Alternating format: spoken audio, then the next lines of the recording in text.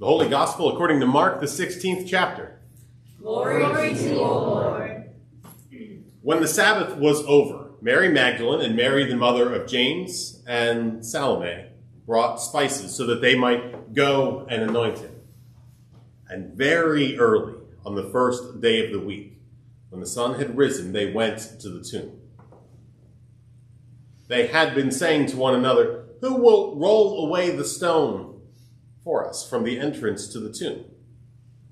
When they looked up, they saw that the stone, which was very large, had already been rolled back.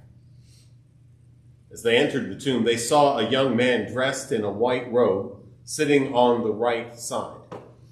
And they were alarmed. But he said to them, Do not be ashamed. You're looking for Jesus of Nazareth, who was crucified. He has been raised. He's not here. Look, there is the place where they laid him. But go and tell his disciples and Peter that he's going ahead of you to Galilee. There you will see him, just as he told you. So they went out and fled from the tomb, for terror and amazement had seized them. And they said nothing to anyone for they were afraid.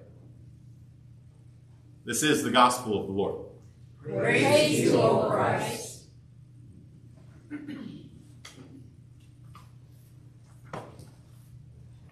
To be headed to the tomb at the very break of day, women must have gotten up awful early. Must have gotten up before the sun, for sure. And there's something about those pre dawn hours there's something about that time that is somehow, that darkness is somehow different than the darkness at 10 o'clock at night. Right? It's different than the darkness at midnight. There's, there's something there. The, the day is, the day is still ahead, but it's not yet fully there.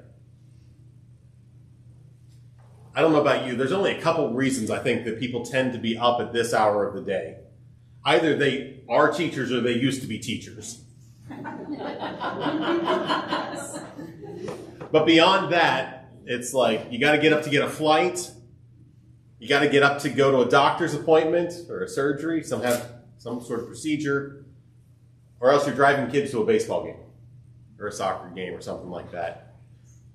But there's just something that feels different about that time. I wonder what the women were talking about as they headed to the tomb because they went to the tomb knowing that they weren't going to be able to do what they were hoping to do. They expected when they got there that they were going to find the tomb sealed, a big heavy stone in front of it. Mark tells us as he narrates this that the women were talking amongst themselves that they, they didn't, they were wondering how are we even going to get in there? Who are we going to find to roll the stone away for us? But sometimes that's the kind of project that life brings to your door. The kind of project that you have to start, even though you don't know how you're going to get it to completion. You just start and you hope that you'll figure it out along the way. That a, a path will open up, that you'll figure it out, that that something will happen and make it possible. Or just maybe, worth trying even if you can't quite get all the way there. Of course, when they do get there, they get that very first sign that something is different. They don't have to figure out how to roll the stone away. That part has already been handled for them. And that's when they get the good news from that young man. That angel who tells them, You're looking for Jesus of Nazareth, but he's not here. He's been raised. Go tell the disciples and Peter and all of them, tell them that he's going ahead of you to Galilee. That's where you'll see him. In Galilee, just like he said. It would be one thing for the risen Christ to start doing his work in Jerusalem, right? In the capital, where all the religious leaders are, where all the people have come for a big festival. It would be one thing to do it there. But instead, he's going to meet them in Galilee. Back in the area they came from, back in their hometown, back in their ordinary lives. This resurrection business is going to have something to do with Monday. Tuesday and a random Thursday in April. It's going to matter for their day to day lives. Now, friends, I don't know what brought you here today. Maybe it's tradition. This is like always where you are this time of the week. This is where you are. Or maybe this is where you are every Easter. Maybe this is your very first time. But whatever it is that has brought you here today, I think there's something way down deep inside each of us that needs to hear every once in a while.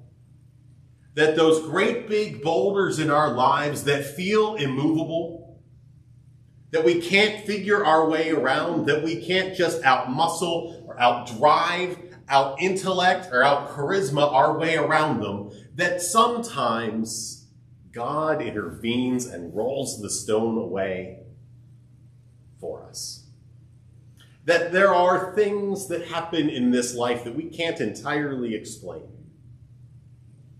And that when we look back on it, often we will see God at work. Often silently, maybe even unnoticed. But God is at work rolling stones away and making things possible that were once impossible.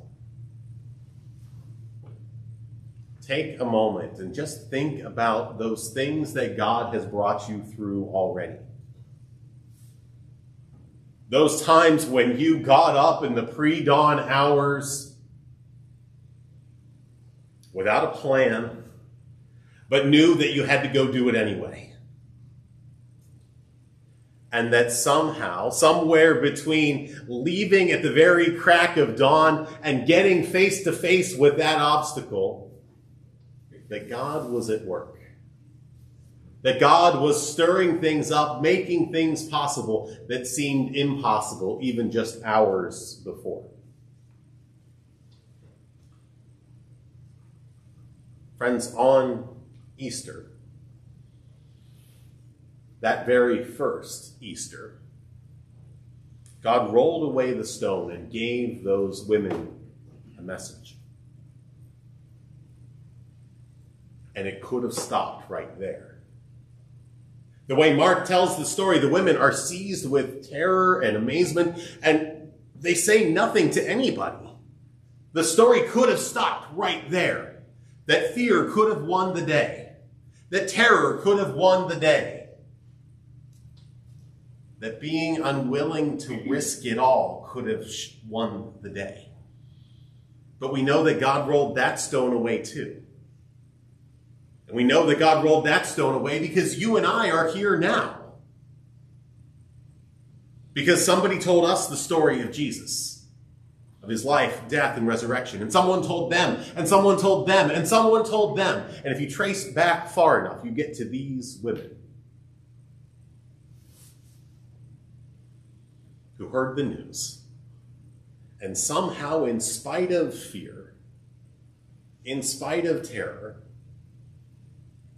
were faithful enough to go and say, the tomb was empty. Let's go to Galilee and see what this is all about. Let's go back home and see what God is able to do. Friends, if, if God was in the stone rolling away business 2,000 years ago, God might very well be in the stone rolling away business even today what better day than on Easter than to, to look around and say, God is capable of doing far more than we could ever ask for or imagine. That Jesus' life, death, and resurrection matters not just 2,000 years ago, but here and now. It mattered in Jerusalem, it matters in Galilee, it matters in Monroe. Friends, there is nothing in all of creation that can separate us from the love of God in Christ Jesus. No amount of fear, no amount of terror, no amount of history, no amount of sickness or death. Nothing in all of creation can separate us from the love of God because the tomb is empty and Christ is risen. He is Risen risen indeed. Friends, we are able to go out into this world to tell the good news, to hope, to believe, to trust that there is more to this life than it appears on the surface. Why can we do that? Because Christ is risen. He is risen indeed. Friends, we can look at those boulders in our lives and trust that not even they are going to be able to keep God's love from flowing through us into this hurting world. Why? Because Christ is risen. He is risen indeed. Amen. Amen.